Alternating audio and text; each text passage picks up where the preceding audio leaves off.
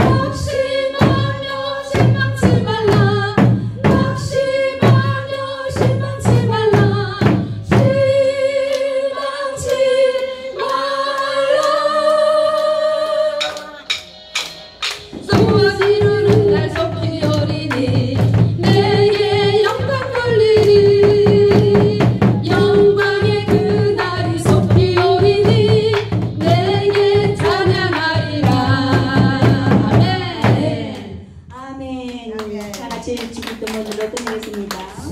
하늘에 계신 우리 아버지여 이름이 거룩히 여김을 받으시오며 나라의 마옵시며 뜻이 하늘에서 이루어진 것 같이 땅에서도 이루어지이다 오늘날 우리에게 일용할 양식을 주옵시고 우리가 우리에게 죄진 자를 사하여 준 것 같이 우리 죄를 사하여 주옵시고 우리를 시험에 들지 않게 마옵시며 다만 악에서 구하옵소서 나라와 아멘 수고하셨습니다. 감사합니다. 할렐루야 감사합니다.